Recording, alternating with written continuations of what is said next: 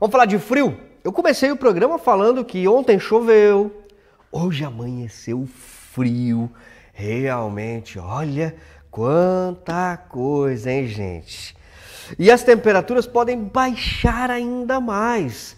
É, é a entradinha do inverno com temperaturas que podem chegar a menos 4 no final de semana. Atente-se.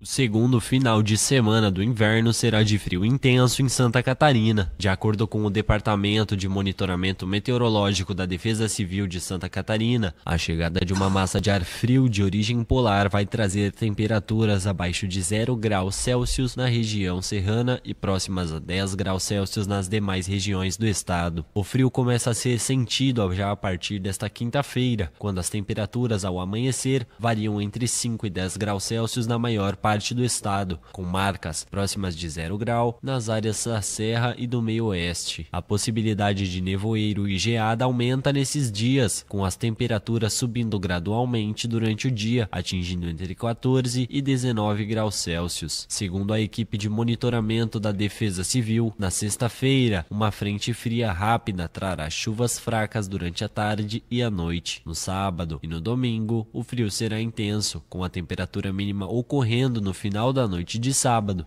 E o que a gente tem para hoje? Previsão de massa de ar mais seco. Não tem condições de formar nebulosidade, consequentemente não há indicativo de chuva.